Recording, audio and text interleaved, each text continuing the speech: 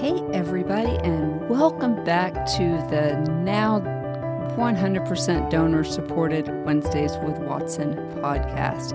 We are so excited to announce to you that we are 100% covered for production costs for the Wednesdays with Watson podcast for all of 2022. And so now moving forward, all of our work, all donations, all funds will go to pro bono counseling for those that can't afford it.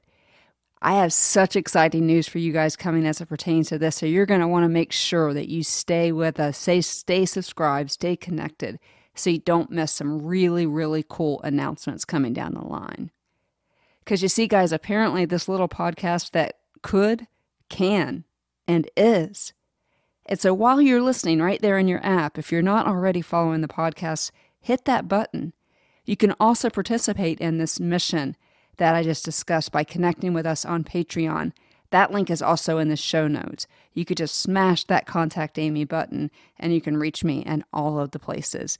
There is bonus content on all of our Enneagram episodes there. We had so much fun during the first part of the season, highlighting the ace in our spaces, places, and aces season. I learned so much about how God makes all of us and how we respond to trauma in the framework of how we are made.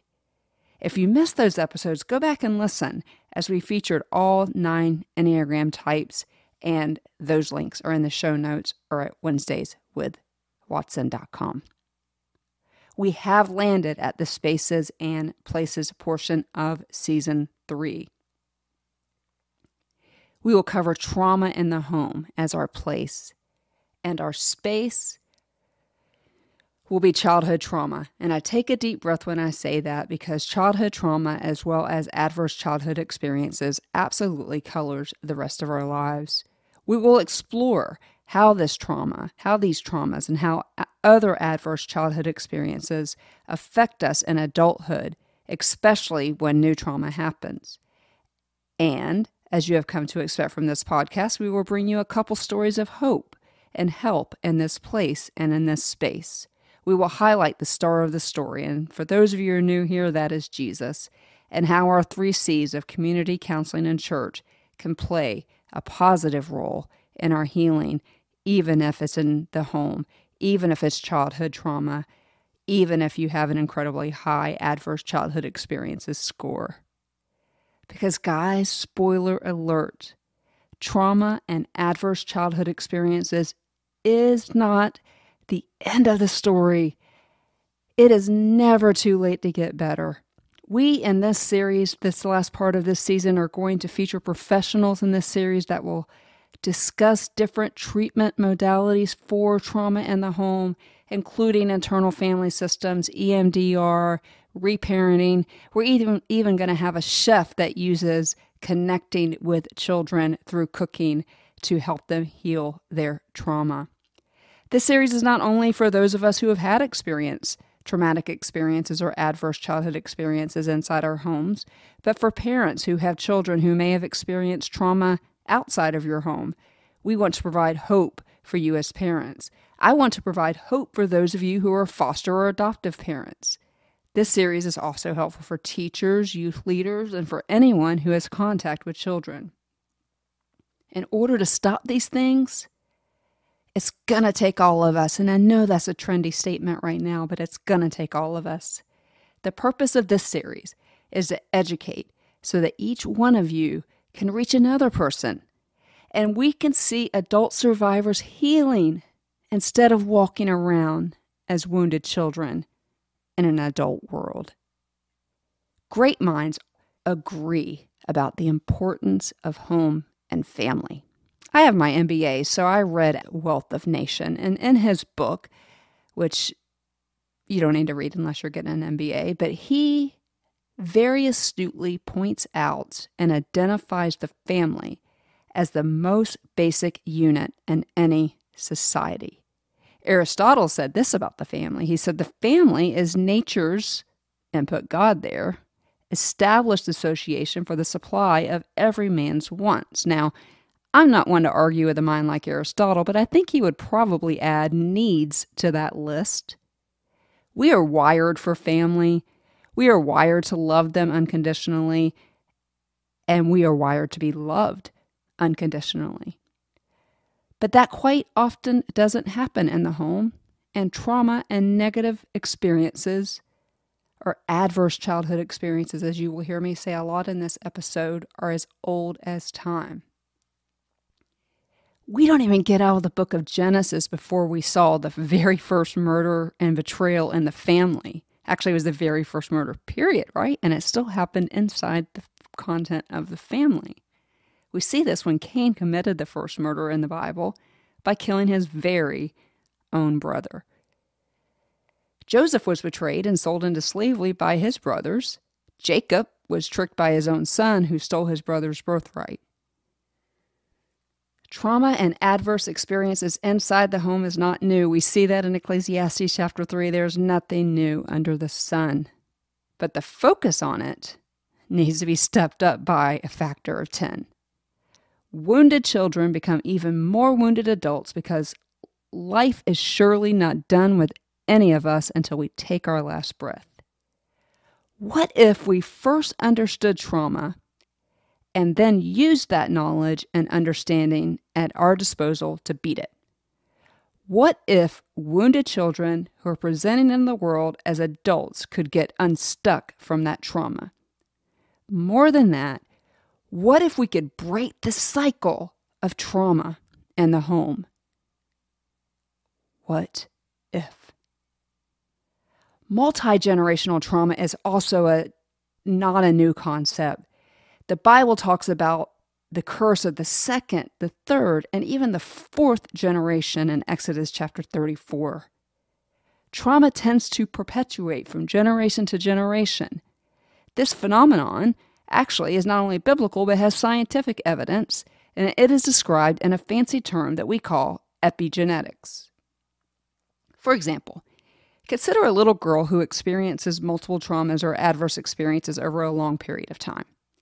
We know from my favorite book, The Body Keeps the Score by Bessel van der Kolk, and his well known book eh, that is called The Body Keeps the Score, that when we experience trauma, our, our bodies respond in kind. So the concept of epigenetics is proof of van der Kolk's hypotheses and what many consider a scientific fact that the body does indeed keep the score. So let's go back to that little girl for a second who already has all of the eggs she will carry with her entire life in utero.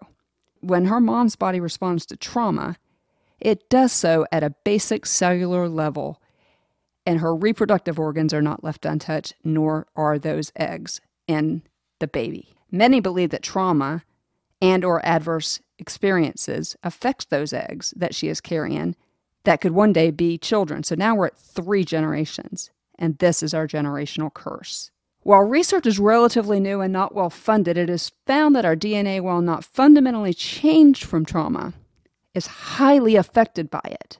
Trauma changes the way the gene expresses itself. In other words, those genes don't work like they should. The affected gene then repeats itself as DNA does, and it's passed on to our offspring. And now we understand the multi generational trauma.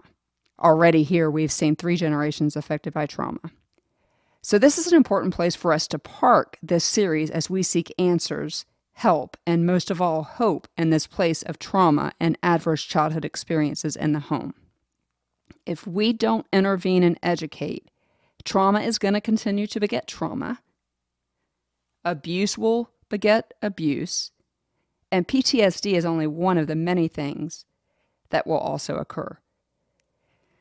We must fight this repeating of the same horrific issues in our society because the body does, in fact, keep the score.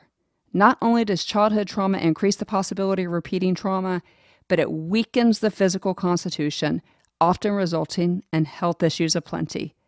This proof is not only in van der Kolk's work, but of the trauma research I've referenced as it pertains to epigenetics. I have put those articles in the, in the show notes for you to read for yourself. Finally, we're going to explore the idea of reparenting in this part of the season. This also gives us hope that there are things that have happened to us does not have to be the end of the story. I'm excited to share these three ACEs inside our places and spaces section of the season, and that being internal family systems, EMDR, and reparenting. For those of you who are new here, let's take a few steps back and remind everyone of what trauma actually is. It's a buzzword, as the word trigger is right now, and if we're not careful, it becomes minimized. But as already noted, it is so important that we understand it from the onset. A very basic understanding of traumatic events is this this is by definition any event that pushes our brains outside of your very own window of tolerance. Your window of tolerance is different from mine. This is why we don't compare traumas. Think of your window of tolerance as a bowling lane. Drop the ball, and any outside force or lack of skill pushes that ball into the gutter. The gutter, and I'm air quoting, for your brain is that window of tolerance. And when that ball goes into the gutter, your brain then becomes hyper aroused, which is we see in fight or flight, or the cheetah and, in the episodes in season one that I talked about, the, the cheetah uh, analogy, whereby it makes us anxious, anxious and hyper vigilant. Or when that bowling ball goes into the gutter or outside of your window of tolerance, you can be hypo aroused, which looks a lot like freeze, and a new term that has come, which is fawn, which is just kind of basically existing. There are three different types of trauma acute trauma or sudden onset trauma occurs usually with a single event or just a series of events that happen quickly. Acute trauma can and does push some brains outside of the window of tolerance. Then they can experience both those hyper and hypoarousal symptoms. If we can get to that acute trauma quickly, and treat it aggressively, we can mitigate some of the damage and provide for the best possible outcome. You see a lot of EMDR therapists on the scene at school shootings and things of that nature so that they could get to those kids and get to them quickly so that we could have the best possible outcome from that traumatic event. The second type of trauma is chronic trauma. Chronic trauma is usually more than one trauma, but always over a long period of time. As I mentioned, we don't compare traumas, but it is important to note that this type of trauma will probably require more work, and early, in, early intervention is still really, really important. Children who experience chronic trauma or other adverse childhood experiences in the home need intervention, and for that, we have to understand their reality. Left untreated, like mine, chronic trauma can and probably will turn into complex trauma. Complex trauma is chronic trauma that has other layers of complexity, most notably physical manifestations. Complex trauma from an early age is very difficult to overcome. But if you are under the sound of my voice right now, you know that is possible. Again, the longer the trauma occurs and the longer it is left untreated, the more difficult it is to begin healing.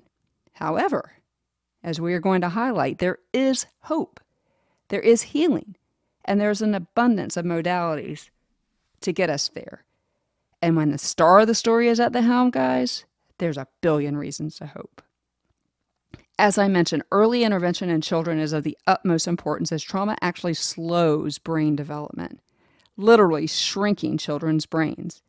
Jeremy Fox will talk a little more about that when we have him as a guest for this series. Children's and adults alike will likely find a weakened physical constitution and will find themselves chasing diseases the rest of their lives. Another thing that I have learned on this podcast journey is the number of people walking around very ill with a ton of unresolved trauma. You often hear me say, I will never stop fighting for people like you because I am you. I have mentioned adverse childhood experiences a few times, and I have done that because of the stigma of the word trauma. Adverse childhood experiences is a widely accepted measurement of psychological effects of trauma in the home in childhood. You can find the link to take that quiz in the show notes. But here are the 10 adverse childhood experiences emotional abuse, sexual abuse, physical abuse, emotional neglect, physical neglect, divorce, an incarcerated parent, substance abuse in the home, domestic violence, or mental illness in the home. I am confident that everyone under the sound of my voice heard some things that occurred in their homes. Does that mean that you have post traumatic stress? Certainly not. But it does mean that maybe you need to pay attention to the way the ramifications of some of these things are showing up in your life.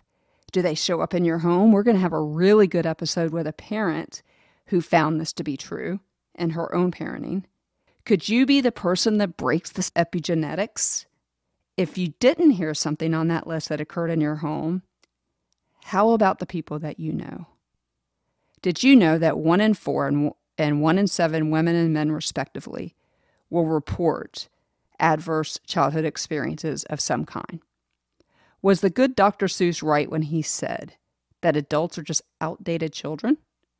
What if you could go back and show compassion and grace and provision for that little kid that endured the things your brain cannot metabolize, and heal yourself and live a life absent of all the ills of unresolved trauma. What if? Stay tuned because we have some hope and help for you. I also love this quote by Stacia Tosh. We worry about what children will become tomorrow, yet we forget that he is somebody today. So let's remember that children living within the four walls of a home that isn't safe is a child today that needs attention today. Because Smith and Aristotle were spot on. Home, home is where it's at. Home is where it's at. So join me in this series to create a safe, safer, and more healthier outlook on childhood trauma in the home, hopefully yielding healthier people who can enjoy their lives instead of living in the gutters of their shadowed window of tolerance. So I'm so excited about this season, guys. Stay tuned for more as we sp- will spend nine episodes diving deep into the place of the home and the space of childhood trauma. I can't wait to bring you more information so that we can continue our mission here and helping people remember that they are seen, that they, they are known, that they are heard, that they are loved, and that they are valued. And to all of you wounded adults out there walking around with your heart in a billion pieces, I want you to know I see you. And I want to pray for you. So please reach out to me in whatever way you want to do that. Again, just hit that contact Amy in the show notes. Finally, if you don't know the star of the story, Jesus, who can help you with these monsters of childhood trauma, I would also be happy to introduce you to him. Again, please reach out to me. And until we come back here in the Healing Zone with our first episode with our first guest, who will talk about how her childhood trauma affected her deeply in adulthood, especially as it pertains to new trauma. We will be back here in two weeks. Hope to see you then. Hey guys, and thanks for listening. I hope that we were able to teach you something today and that this upcoming series will strike a chord with someone somewhere and that you can know that you can live an abundant life and that you are so loved by people you don't even know. As I mentioned, we'll be back two weeks here in the Healing Zone with our first interview, and we will highlight how trauma colors how we deal with trauma in adulthood. If you haven't already, make sure you subscribe so you don't miss this series. Also, head to the Patreon link and go back and listen to some of those AC chats. You'll love those. Until then, I'm going to say it again, even though I already said it. You are seen, you are known, you are heard, you are loved, and you are valued. See you in two weeks, guys.